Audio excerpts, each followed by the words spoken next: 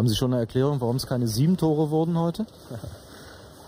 Ja, ist die Erwartungshaltung jetzt, glaube ich, ne? ein bisschen gestiegen. Nein, ich glaube, wir haben wieder ein sehr gutes Spiel gemacht, wieder äh, von Anfang an. War sehr konzentriert und motiviert gespielt und äh, natürlich würde es jetzt nicht äh, immer gelingen, dass man direkt drei Tore macht, aber das ist schon noch ein Zeichen dafür, wie wir in die Spiele gehen im Moment. Haben wir das richtig gesehen? Bei dem einen Freistoß haben Sie den Schützen mit Schnick, Schnack, Schnuck ausgewählt?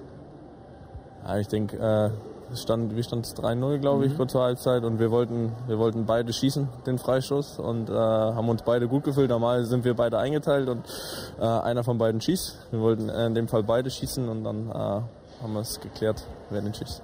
Was sagen Sie denen, die kritisieren, das wäre respektlos dem Gegner gegenüber? Nein, also ich denke, das hat ja mit dem Gegner wenig zu tun, wenn wir was äh, ausmachen in unserer Mannschaft, deswegen, ne, glaube ich nicht.